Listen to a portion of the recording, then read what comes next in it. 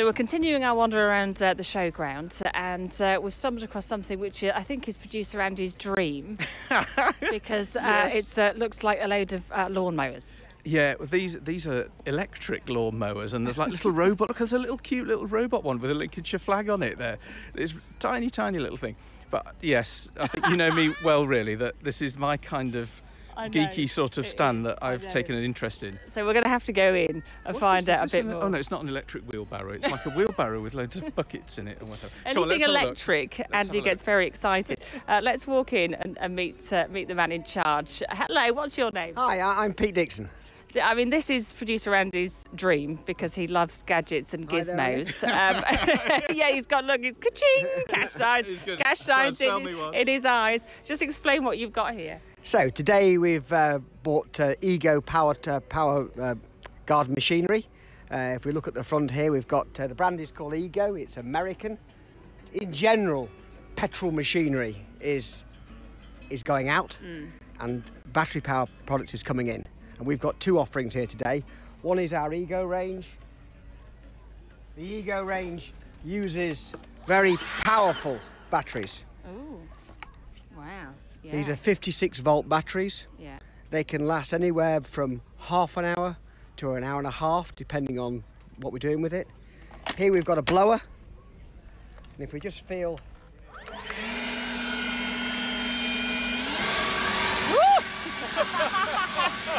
That that cooled me down.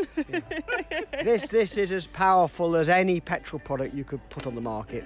And one of these would probably run between half an hour and an hour, depending Yeah. on the battery. Yeah. So it's completely practical.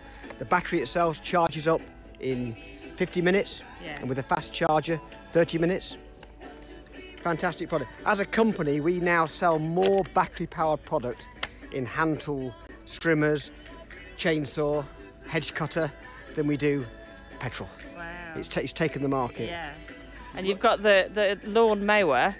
Is it? And this is uh, obviously electric as well. I mean, it looks like a lawnmower, doesn't it? Look, it- yeah, it looks like one. Conventional lawnmower, we do it in three sizes 16 inch for the smaller garden, 47 centimetres, 18 inch for a medium sized garden, and then for that large estate, we've got the 52 centimetre, 21 inch. Yeah. And these are all, the power of this product is the same as a petrol product Yeah.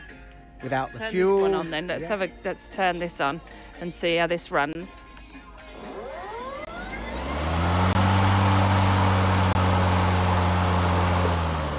Yeah, again, sounds powerful. Sounds powerful to me, Andy.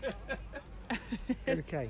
We've also brought with us today um, Ambrogio, which is a robotic, autonomous robotic. Oh, is this the one with the Lincolnshire flag on? Yeah. This, and this oh, is that's a little mine. one. That's Oh, from home. Oh. That is little Alberto. Alberto. Why is it called Alberto? Well, Why is it Italian when it's got a Lincolnshire flag? Because it's mine from home, and I like and I like all things Lincolnshire. I like all things Lincolnshire. So Ambrogio is an Italian robot. It's made in Tuscany. It's uh, exported around the world, 68 different countries. This product's exported to, and we're the distributor for Ambrogio in the UK, Yeah. do, feeding a dealer network. This is now become the, the robotic lawnmowers have become mainstream. So now, when someone's considering to buy garden machinery to cut the grass, they would consider a petrol, a battery, but they'd also very much consider a robot. Yeah. These robots will do up to five, two, two hectares, two hectares of grass. Very practical, fantastic finish, good looking product. And we say two hectares of grass. What in, In uh, how- acres, that's five acres. five acres. Yeah. In football pitches. Uh, in football pitches, you would be looking at um, four football pitches. On that for that little Not robot. for that little one, for oh, biggest for one. the big one. These are for practical for the size of a garden, Yeah. around about a thousand square meters. Yeah. For a thousand square meters, you probably use maybe an 18 inch or 21 inch lawnmower, Yeah. and this will replace it. Have you had lots of interest at the show? Yeah, very much so, yeah. I mean, I've- I've been coming personally to the show a long, long time. I've bought robotics here for the last 20 years, uh, and now people come on the stand and they, they've heard about robot robots for cutting the grass. They understand it. It's just a choice of whose brand they go for, Yeah. who's going to give them a good service. Yeah. That's the choice they make today. Has there been a lot of, of people in this year? Because we had the pandemic, didn't we? And uh, uh, the show not on. Um, is it nice to be back? Yeah, we're super pleased to be back. I mean, we, we had the two years off. Um, we're a Lincolnshire based country, although we supply uh, countrywide. Yeah. We're Lincolnshire based, and uh, I think all the companies here. A little bit of a statement for myself is that you know if we're trading in Lincolnshire, we should support this show because if this show wasn't here, we'd all miss it. Yeah. You know, it's a little bit, it's a little bit of resource, a little bit of trouble in your week, Yeah. um, but it's one week in the year. Yeah.